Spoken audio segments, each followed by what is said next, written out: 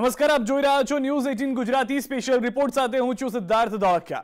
પાકિસ્તાન ચીનના ખોળામાં બેસી ગયું છે. ચીન સાથે દોસ્તીમાં પાકિસ્તાનના પ્રધાનમંત્રી ઇમરાન ખાન એટલા આંધળા થઈ ગયા છે કે તેને પોતાનો નફો નુકસાન પણ ખબર નથી પડી રહ્યો.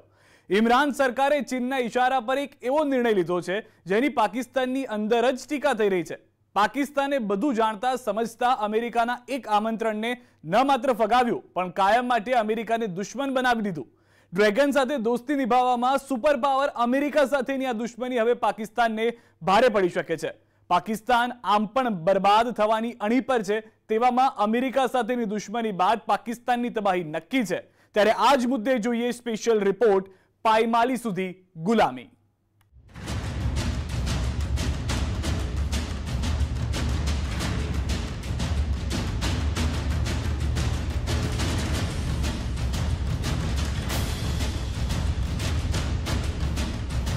इमरान अमेरिका ने बनाव्यो दुश्मन।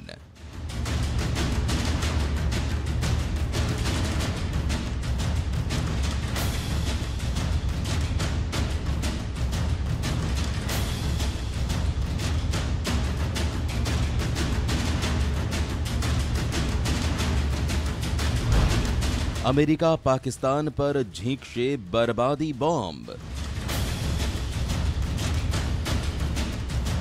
બેઇજિંગથી ફોન આવ્યો અને ઇમરાન ખાને એક એવો નિર્ણય કરી લીધો જેનાથી પાકિસ્તાનની બરબાદી પર મોહર વાગી ગઈ પાકિસ્તાનના પ્રધાનમંત્રી ઇમરાન ખાને શી જિનપિંગ સાથે દોસ્તી નિભાવવા માટે પોતાના દેશને વેચી દીધો ચીનના હાથની કઠપુતળી બનેલા પાકિસ્તાને જાણી જોઈને સુપર પાવર અમેરિકાને પોતાનું દુશ્મન બનાવી દીધું જ્યારથી જો બાઇડને અમેરિકાની સત્તા સંભાળી છે ત્યારથી પાકિસ્તાનના પ્રધાનમંત્રી ઇમરાન ખાન તે રાહ જોઈ રહ્યા હતા કે તે તેમને ફોન કરે પણ બાઇડને ભારત સાથે સંબંધ અને અફઘાનિસ્તાનમાં પાકિસ્તાનની દગાખોરીને જોતા ઇમરાન ખાનને ફોન ન કર્યો પાકિસ્તાનના વિદેશ મંત્રાલયે અમેરિકાના આ વલણ પર નારાજગી પણ વ્યક્ત કરી પણ બાઇડન વહીવટી તંત્ર પોતાના વલણ પર અડગ રહ્યું જેનાથી ઇમરાન ખાન એટલા નારાજ થઈ ગયા કે તેમણે જિનપિંગના ઇશારા પર જ અમેરિકાને આંખ દેખાડવાનો નિર્ણય કરી લીધો. ઇમરાન ખાનની સરકારે એક ચોંકાવનારું એલાન કર્યું. ઇમરાન સરકારે અમેરિકાની આગેવાનીમાં યોજાનારી વર્ચ્યુઅલ લોકશાહી સમિટમાં ભાગ લેવા નનૈયો ભણ્યો. અમેરિકાએ લોકશાહી સમિટમાં સામેલ થવા માટે પાકિસ્તાનને ગયા મહિને જ આમંત્રણ પાઠવ્યું હતું. પણ સમિટના છેલ્લા દિવસે એટલે કે દસ ડિસેમ્બરના એક દિવસ પહેલા પાકિસ્તાને આ સમિટમાં ભાગ ન લેવાનો નિર્ણય કર્યો પાકિસ્તાને આ જોખમ ત્યારે ઉઠાવ્યું છે જ્યારે દક્ષિણ એશિયામાંથી ભારત પાકિસ્તાન માલદીવ અને નેપાળને જ આ સમિટમાં ભાગ લેવાનું આમંત્રણ છે પાકિસ્તાનના મીડિયામાં ચાલતા સમાચારોનું માનીએ તો ઇમરાન સરકારે ચીનના કારણે અમેરિકામાં ચાલતી લોકશાહી વર્ચ્યુઅલ સમિટમાં ભાગ લેવા માટે ઇનકાર કર્યો જો કે પાકિસ્તાન માટે આ નિર્ણય લેવો સરળ નહોતો પણ પાકિસ્તાને ચીન પ્રત્યે પોતાની વફાદારી સાબિત કરવા માટે એનું ઋણ અદા કરવા માટે અમેરિકાના આમંત્રણને ફગાવી દીધું बड़ा तगड़ा इत्तेहाद कायम कर लिया है जो मुस्तकबिल का एक अहम इत्तेहाद होगा क्योंकि एशिया की सदी का आगाज होने जा रहा है मुस्तकबिल का सुपर पावर चीन होगा उसका सबसे बड़ा इतिहादी रशिया होगा। जैसे अमेरिका के इतिहादी कनाडा, बरतानिया और ऑस्ट्रेलिया हैं। ऐसे ही चाइना के इतिहादी पाकिस्तान, रशिया और तुर्की और दीगर जो ममालिक इस खत्े के हैं, वो होंगे। लेकिन सवाल एक पैदा होता है कि अगर पाकिस्तान को अमेरिका ना बुलाता और चाइना को बुलाता तो क्या चाइना पाकिस्तान के लिए रुक जाता?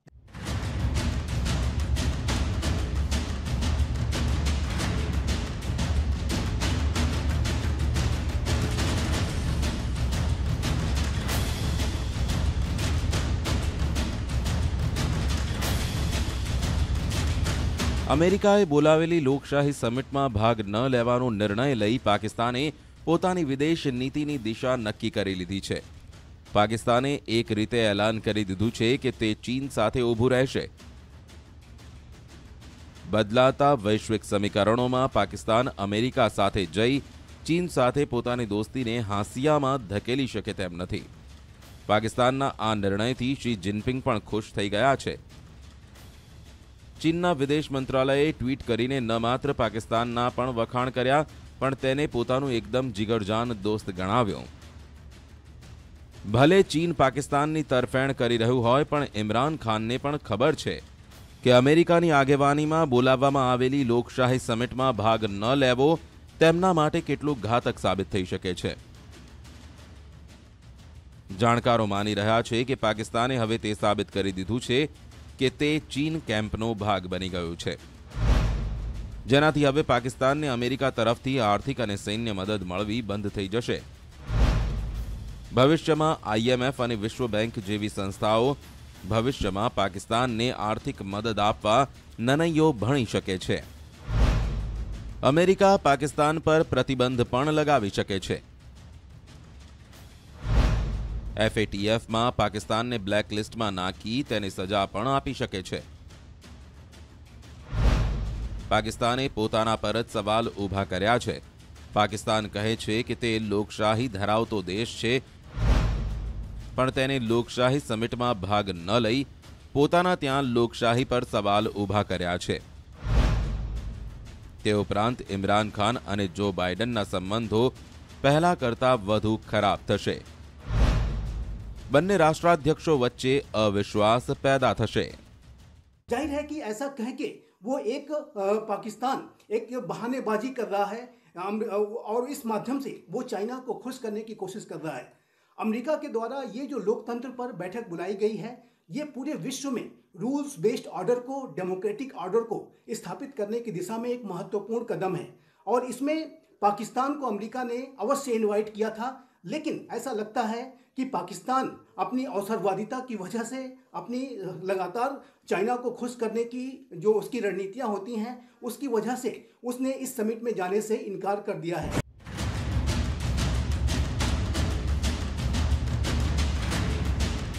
પાકિસ્તાનના પ્રધાનમંત્રી ઇમરાન ખાનને પોતાના નિર્ણયના ગંભીર પરિણામ આવશે તેની ખબર હશે તેમને ખબર હશે કે હવે અમેરિકા પાકિસ્તાનને બરબાદ કરવામાં કોઈ કચાશ બાકી નહીં રાખે પણ ચીન તરફથી મળતી લોન અને તેની દોસ્તી ઇમરાન ખાનને પોતાના દેશ સાથે વિશ્વાસઘાત કરવા મજબૂર કરી ચૂકી છે ઇમરાન ખાને બધું જાણતા અને સમજતા સુપર પાવરને પોતાનું સૌથી મોટું દુશ્મન બનાવી દીધું છે તે પણ તેવા સમયે જ્યારે પાકિસ્તાન દેવાના ડુંગર તળે રોજ વધુ દબાઈ રહ્યું છે કોઈ પણ પાકિસ્તાનને લોન આપવા તૈયાર નથી વર્ષ બે હજાર ઓગણીસમાં પાકિસ્તાનના પ્રધાનમંત્રી ઇમરાન ખાને જાહેર દેવું વીસ લાખ કરોડ રૂપિયા સુધી લાવવાના સોગંદ લીધા હતા ઇમરાન ખાને દસ વર્ષમાં અઢાર લાખ કરોડ રૂપિયાનું દેવું કરવાને લઈ તપાસની પણ વાત કરી હતી તપાસ પૂરી પણ થઈ ગઈ અને ખબર પડી કે કેવી રીતે પાકિસ્તાન દેવાના ડુંગર નીચે દબાઈ ગયું છે પણ ઇમરાન ખાને આ તપાસ રિપોર્ટ બહાર ન પડવા દીધો તો સવાલ તે કે શું ઇમરાન ખાન પણ પહેલાની સરકારે બતાવેલા રસ્તા પર ચાલી રહ્યા હતા જે પણ હોય તે પણ એક વાત નક્કી છે કે હવે પાકિસ્તાનને વેચાતું કોઈ બચાવી શકે તેમ નથી પાકિસ્તાન માટે બીજા ખરાબ સમાચાર તે છે કે આઈએમએફે પણ પાકિસ્તાનને લોન આપવા માટે ઇનકાર કરી દીધો છે આઈએમએફને રાજી કરવા માટે પાકિસ્તાને આઈએમએફની કેટલી શરતો માની અને પેટ્રોલ અને વીજળીના ભાવમાં ધરખમ વધારો કર્યો. તેમ છતાં પણ આ વૈશ્વિક સંસ્થાને સંતોષ ન થયો. આઈએમએફે ઇનકાર કરી દેતા હવે ફરીવાર ઇમરાન ખાને ચીન અથવા ખાડી દેશો પાસે ભીખ માંગવી પડી શકે છે. પાકિસ્તાન ટોપ ટેન દેવાદાર દેશોમાં સામેલ છે. તેમ છતાં ચીન પાકિસ્તાનમાં કરોડો ડોલરનું રોકાણ કરી રહ્યું છે તેવામાં ઇમરાન સરકાર ચીન સામે કંઈ પણ બોલી શકે તેમ નથી તો બીજી તરફ અમેરિકાનો આઈએમએફ બીજા વિત્તીય સંગઠનો અને એફએટીએફ પર સૌથી વધુ પ્રભાવ છે અમેરિકાના એક જ ઇશારામાં પાકિસ્તાન દેવાના ડુંગર તળે દબાઈ શકે છે જ્યારે પાકિસ્તાનની અર્થવ્યવસ્થા ટાઇટેનિકની જેમ ડૂબી રહી છે તેવામાં પાકિસ્તાનના સાંસદોએ આશંકા વ્યક્ત કરી છે કે આવનારા દિવસોમાં અમેરિકા પાકિસ્તાન પર પ્રતિબંધ લગાવી શકે છે આઈએમએફ અને એફએટીએફ સખત પગલાં લઈ શકે છે એટલું જ નહીં આયાત પર રોક લગાવીને અમેરિકા પાકિસ્તાનની અર્થવ્યવસ્થાની કમર તોડી શકે છે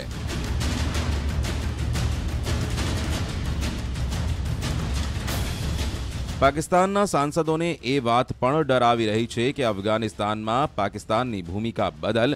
અમેરિકા પાકિસ્તાનને સજા આપી શકે છે અમેરિકાએ પહેલાથી જ પાકિસ્તાનની સાથે પોતાના સંબંધોને મજબૂત કરવાથી સ્પષ્ટ ઇનકાર કરી દીધો છે એટલું જ નહીં પાકિસ્તાનના પ્રધાનમંત્રી ઇમરાન ખાનની અફઘાનિસ્તાનથી વાપસી પછી અમેરિકા માટે આપેલું નિવેદન બાઇડન પ્રશાસનને જરા પણ પસંદ આવ્યું નથી સ્પષ્ટ છે કે ચીન સાથે મિત્રતા અને તેનાથી થનારા ફાયદાની લાલચ હવે પાકિસ્તાન સરકારને બહુ મોટો ફટકો આપી શકે છે ખાસ કરીને પાકિસ્તાનના પ્રધાનમંત્રી ઇમરાન ખાનને જે અત્યારે પોતાની સરકાર બચાવવાના મરણિયા પ્રયાસો કરી રહ્યા છે જે નવાઝ શરીફના પાકિસ્તાન પર આવવાના સમાચારથી ચિંતામાં છે જે સેના અને વિપક્ષી દળોની સાંઠગાંઠથી ડરેલા છે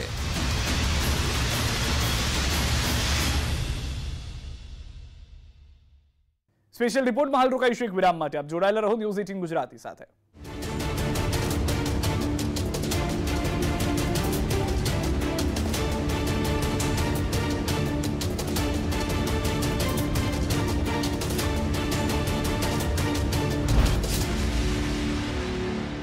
ઉમિયાધામનું સુંદર સંકુલ બનશે ઉમિયાધામને નાગર શૈલીની થીમ ઉપર બનાવવામાં આવશે મંદિરના નિર્માણ પહેલા કરાઈ શિલાન્યાસની વિધિ એકાવન કરોડ મંત્રોચ્ચાર સાથે યોજાઈ પોથી યાત્રા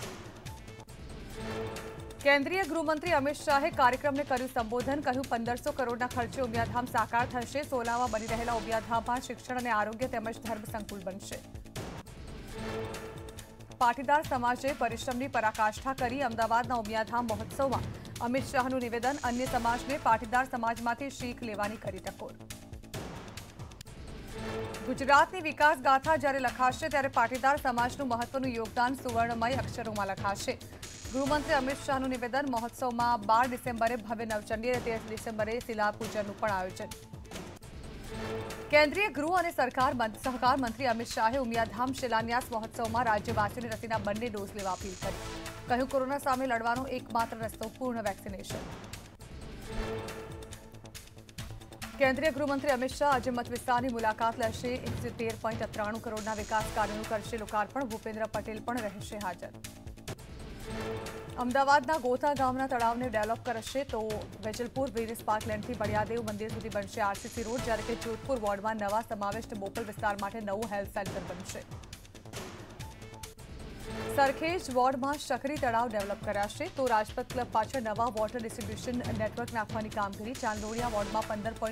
મિલિયન ક્ષમતાના વોટર ડિસ્ટ્રીબ્યુશન નેટવર્ક નાખવાની કામગીરી. મહેસાણાના ઊંઝામાં એમએલએ આશાબેન પટેલની તબિયત નાદુરસ્ત ડેન્ગ્યુ થયા બાદ તબિયત વધુ લથડી અમદાવાદની ઝાયડસ હોસ્પિટલમાં સારવાર હેઠળ અમદાવાદની હોસ્પિટલમાં દાખલ કરાયેલા ઊંઝાના ધારાસભ્ય આશાબેન પટેલની તબિયત નાજુક મુખ્યમંત્રી ભૂપેન્દ્ર પટેલે હોસ્પિટલ પહોંચી લીધી મુલાકાત મંત્રી બ્રિજેશ મિર્જાએ કહ્યું આશાબેન વેન્ટિલેટર પર આશાબેન પટેલની તબિયત પર ડોક્ટરનું નિવેદન ડેન્ગ્યુના કારણે આશાબેનના મલ્ટિપલ ઓર્ગન ફેલ્યોર હૃદય કિડની નબળા પડી ગયા છે વીસ અને એકવીસ જાન્યુઆરીએ કચ્છના રણોત્સવમાં યોજાશે દેશના સામાજિક ન્યાય અધિકારીતા મંત્રીઓની બેઠક, કેન્દ્રીય મંત્રી મુખ્તાર અબ્બાસ નકવીએ કરી જાહેરાત. રણોત્સવમાં કારીગરોને રોજગારી વધારે મળી રહે તે માટે મીટિંગનું આયોજન. બેઠકમાં મંત્રીઓ, સચિવ, વરિષ્ઠ અધિકારીઓ રહેશે હાજર. સુરતમાં અગિયારથી વીસ ડિસેમ્બર સુધી હુનર હાટનું આયોજન. વનિતા વિશ્રામ ગ્રાઉન્ડ પર હુનર હાટ યોજશે. રાજ્યપાલ અને કેન્દ્રીય મંત્રી મુખ્તાર અબ્બાસ નકવી રહ્યા હાજર. હસ્તકલા ક્રાફ્ટના કુશળ કારીગરોને મળશે નવી તક હસ્તકલા ભોજન અને સંસ્કૃતિનો અનોખો સંગમ વોકલ ફોર લોકલ આત્મનિર્ભર ભારત અભિયાનને મૂર્તિમંત કરતું હુનર હાટ સુરેન્દ્રનગરના ચોટીલાના ધારાસભ્ય ઋત્વિજ મકવાણાને સીએમને લખતો પત્ર છેલ્લા વીસ વર્ષ દરમિયાન આંદોલનકારીઓ પર થયેલા કેસ પરત ખેંચવા કરી માંગ પાટણના સાંસદ ભરતસિંહ ડાભીએ મુખ્યમંત્રીને લખ્યો પત્ર પાટીદાર આંદોલન સમયે થયેલા રાજકીય કેસ પરત લેવા કરી રજૂઆત ગંભીર ગુના હોય તેવા કેસને ફાસ્ટ ટ્રેક કોર્ટમાં તબદીલ કરી ઝડપી નિકાલ કરવાનો કર્યો ઉલ્લેખ. આગામી સમયમાં મુખ્યમંત્રી સાથે મુલાકાત કરશે તેવી પણ કરી વાત. વ્યસન મુક્તિ વખતે અલ્પેશ ઠાકોર મુખર્જી ઠાકોર સહિતના નેતાઓ પર થયેલા કેસ પરત ખેંચવા માંગ પદ્માવત ફિલ્મ વખતે કરણી સેના પર થયેલા કેસ પણ પરત ખેંચવા માંગ સૌરાષ્ટ્ર યુનિવર્સિટીના કરાર આધારિત ત્રણસો સિત્તેર કર્મચારીઓને છૂટા કરાયા. ભરતી કૌભાંડ ખુલ્યા બાદ યુનિવર્સિટીનો સૌથી મોટો નિર્ણય સરકારની મંજૂરી બાદ ભરતીની થશી, થઈ શકે છે નવી જાહેરાત. સત્તરમીએ સરકારના નિર્ણય બાદ જે તે કર્મચારીઓને નોકરીને લઈને ફોન કરાશે કર્મચારીઓને ફરી કરાર આધારિત નોકરીની સંભાવના યુનિવર્સિટીએ રાજ્ય સરકારે પત્ર લખી નોન ટીચિંગ સ્ટાફની ભરતી માટે માંગ્યું માર્ગદર્શન કોરોનાના વધતા કેસ પર મનોજ અગ્રવાલનું મોટું નિવેદન કહ્યું અધિકારીઓના કહેવા પ્રમાણે લગ્નની સિઝનના કારણે કોરોનાના કેસમાં વધારો થયો જમતી અને મળતી વખતે ફેલાય છે કોરોનાનું સંક્રમણ ત્રીજી લહેરને લઈને સરકારે કરી છે તૈયારીઓ કોરોના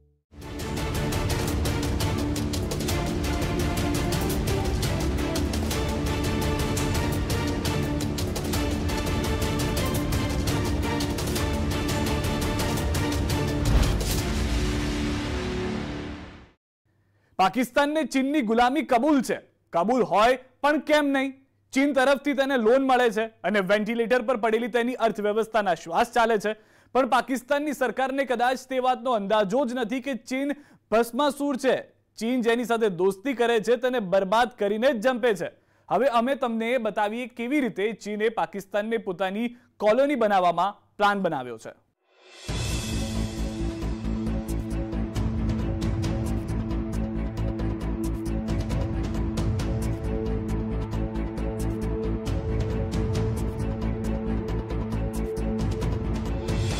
પાકિસ્તાન પૂરી રીતે ચીનના ખોળામાં જઈ બેઠું છે પાકિસ્તાન દેવાના ડુંગર તળે એવું દબાઈ ગયું છે કે તેની પાસે ડ્રેગનની ગુલામી કર્યા સિવાય કોઈ છૂટકો નથી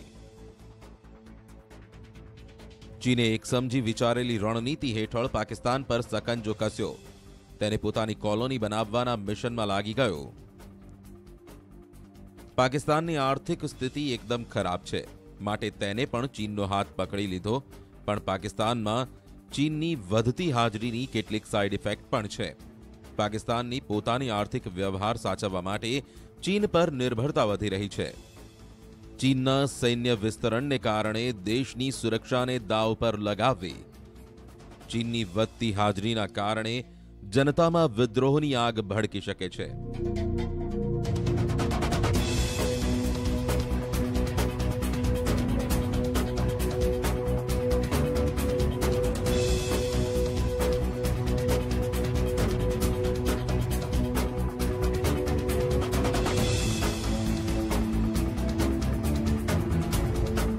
હવે આને નિયતિ કહીએ કે પાકિસ્તાનના સત્તાધીશોમાં દૂરદર્શિતાનો અભાવ વર્ષ બે હજાર સાતથી જ ચીને પાકિસ્તાન પર પોતાની પકડ મજબૂત કરવાનું શરૂ કરી દીધું ત્યારબાદ ચીને પાકિસ્તાનમાં બેલ્ટ ઓન રોડ અને સીપીઈસીથી પાકિસ્તાનને એવું ફસાવ્યું કે આજે ત્યાંની સરકાર બેઇજિંગના ઇશારાઓ પર નાચી રહી છે પાકિસ્તાનમાં ન ચીન માત્ર પોતાના લોકોને વસાવી રહ્યું છે પણ પાકિસ્તાનના મહત્વપૂર્ણ ભાગોમાં પોતાના સૈનિક અડ્ડાઓ પણ બનાવી રહ્યું છે ગ્વાદરમાં ચીનનો મિલિટરી બેઝ તેનું એક ઉદાહરણ છે પાકિસ્તાનના બલુચિસ્તાન પ્રાંતના ગ્વાદરમાં ચીન સીપીઈસી યોજનાની આડમાં સૈન્ય અડ્ડો તૈયાર કરી રહ્યું છે પણ પાકિસ્તાનના સત્તાધીશો છે કે સત્યનો સામનો જ કરવા નથી માંગતા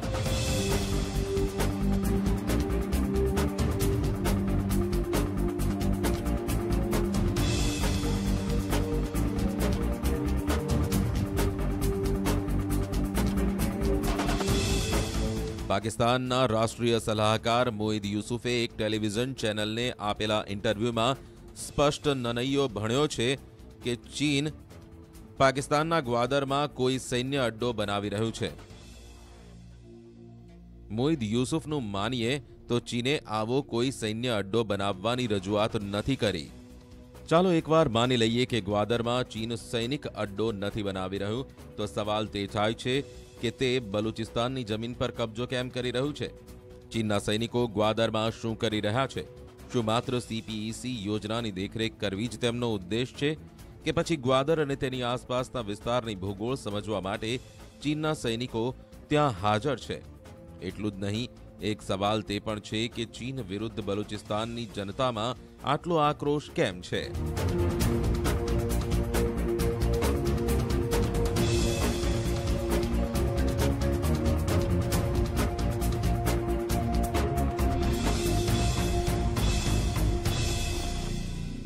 सीपीईसी के प्रोजेक्ट के तहत पाकिस्तान में चाइना ने बासठ बिलियन डॉलर से भी ज़्यादा अभी तक इन्वेस्ट किए हैं और ये संख्या, ये जो इन्वेस्टमेंट है, ये लगातार बढ़ता जा रहा है। ग्वादर का जो पोर्ट है, वहाँ पर चाइना की जो गतिविधियाँ हैं, वो लगातार गहरी हो रही हैं और ग्वादर पोर्ट पे आने वाले समय में चाइना अपने मिलिट्री बेस को डेवलप कर सकता है और ये चाइना का बहुत ही एम्बिशियस प्लान हो सकता है। ग्वादर पोर्ट पे यदि चाइना एक मिलिट्री बेस बनाने में सफल हो जाता है तो वो पूरे अरेबियन सी में और उस माध्यम से वो पूरे इंडियन ओशन रीजन क्षेत्र में अपनी निगाह रख सकेगा।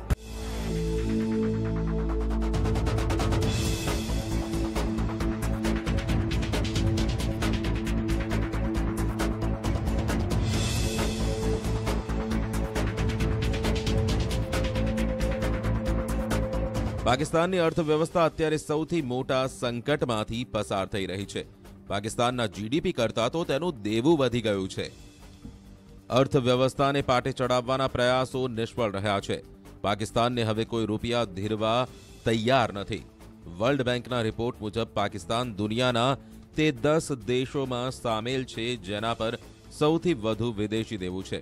ખુદ પાકિસ્તાનના પ્રધાનમંત્રી ઇમરાન ખાન માની રહ્યા છે કે સરકાર પાસે દેશ ચલાવવા માટે પૈસા નથી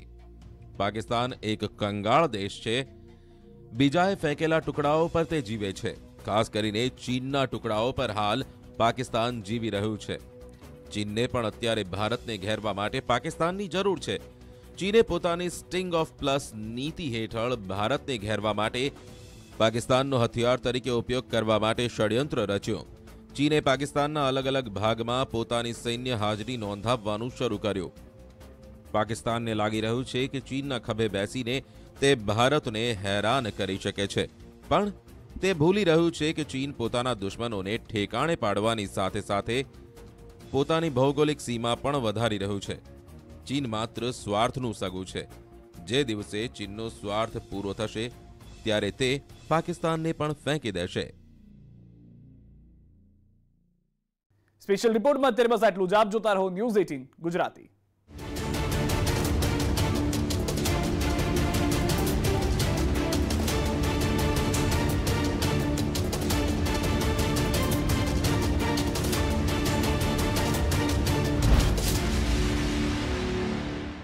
દીપડો ખાબકતા વન